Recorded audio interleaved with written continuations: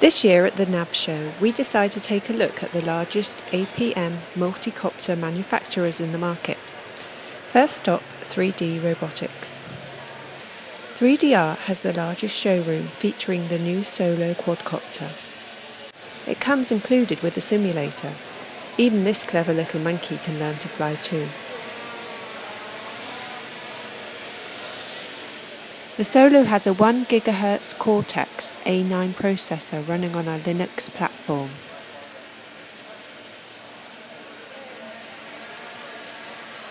Our very own Leo Yang from Drone Mission was given the personal tour by Chris Anderson himself, CEO of 3DR, along with Robert Lowe, CEO of Walkera IUAS our friends from Walkera, ah. our platform partners. Oh, okay. Uh, so they make uh, a fantastic Scout platform and uh, a bunch of others, another major Chinese manufacturer using the um, APM code. So I'll show you the. Uh,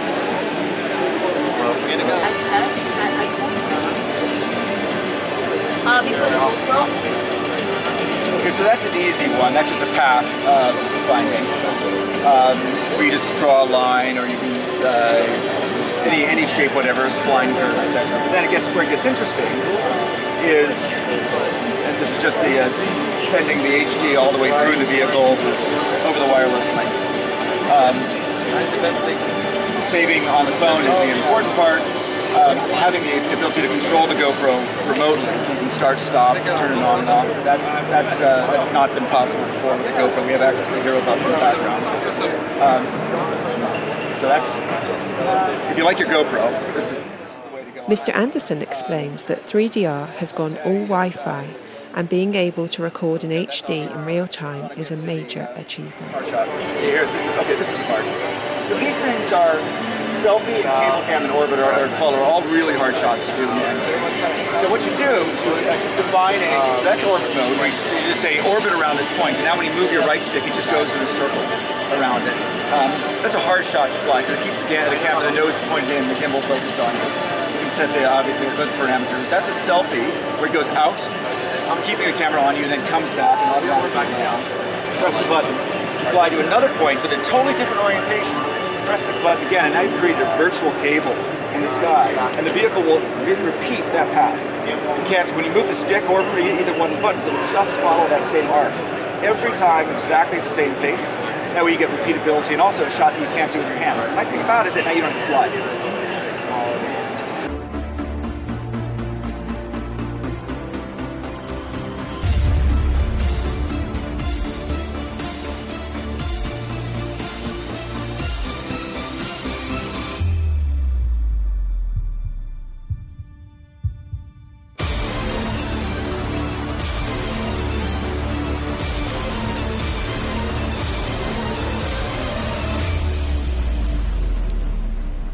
Next up at the Intelligent Unmanned Aircraft Systems of Walkera. Walkera debuted the Voyager 3 APM hexacopter at the NAB show, planned to be released later this year. The sportish looking hexacopter with six propellers will carry dual GPS system for failover. By leveraging both American GPS Global Positioning System and Russian Global Navigation Satellite System, it will allow for model aircrafts to overcome GPS glitches. Walkera, known to make excellent radio transmitters over the last seven years, took the opportunity to showcase their new sports edition of the Devo F12E, complementing the X350 Premium. The F12E is a professional 12 channel radio transmitter that comes with a composite video baseband signal port. Walkera left us with a preview of their latest technology, the Intelligent Recovery System, that will be implemented on all future hexacopters.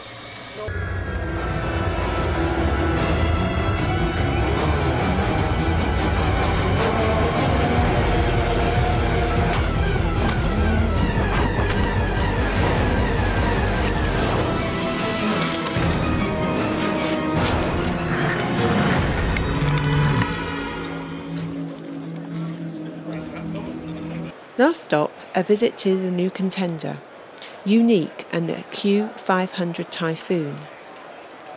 Yuneec is not new to aviation. In fact, they made full size planes marketed as Greenwing International in China.